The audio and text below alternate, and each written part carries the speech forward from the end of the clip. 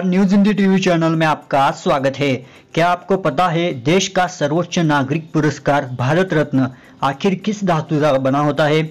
आइए आपको बता देते हैं। भारत सरकार ने बिहार के पूर्व मुख्यमंत्री कर्पूरी ठाकुर को मरणोत्तरांत भारत रत्न से सम्मानित करने का ऐलान किया है।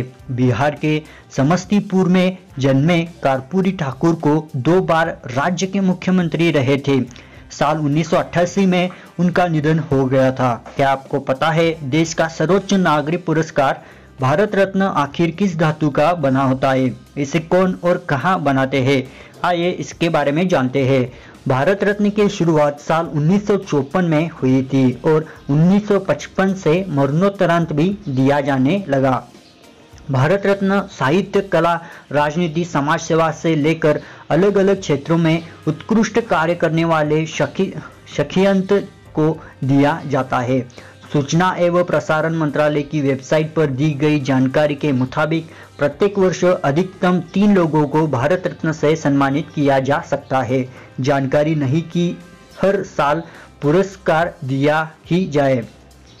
भारत रत्न से सम्मानित शख्स को राष्ट्रपति द्वारा हस्तांतरित एक सर्टिफिकेट और पदक प्रदान किया जाता है। कोई धनराशि नहीं दी जाती है। भारत रत्न को दिया जाने वाला मेडल पिंपल के पत्ते जैसा दिखता है, जो शुद्ध तांबे का होता है।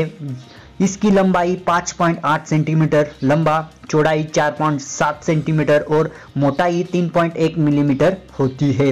पत्ते पर प्लेटिनम का चमकता सूर्य बना हुआ होता है। इसका किनारा भी प्लेटिनम का ही होता है। भारत रत्न के दूसरे हिस्से, यानी नीचे की तरफ़ चांदी से, हिंदी से में भारत रत्न लिखा होता है, जबकि पीछे की तरफ़ अशोक रत्न स्तंभ, अशोक स्तंभ के नीचे हिंदी में सत्यमेव जयते लिखा होता है। सूचना एवं प्रसारण मंत्रालय के मुताबिक भारत रत्न कोलकाता टक्साल तैयार करता है। बहुत अनुभवी कारीगर महीनों की मेहनत के बाद मेडल तैयार करते हैं।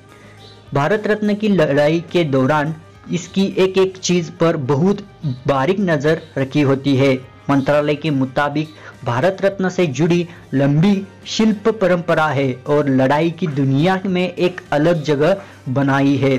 डिज़ाइन में उत्कृष्टता के लिए टकसाल में अनुभवी शिल्पकारों को ही ये काम दिया जाता है।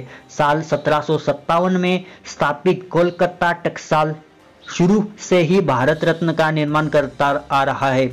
यही पद्म विभूषण पद्म भूषण पद्मश्री परमवीर चक्र और तमाम नागरिक सैन्य, सेल, खेल, पुलिस मेडल भी तैयार होते हैं। भारत रत्न से जुड़े एक और महत्वपूर्ण बात है, इस पुरस्कार को पाने वाला शख्स अपने नाम से आगे आगे या पीछे इसे नहीं जोड़ सकता।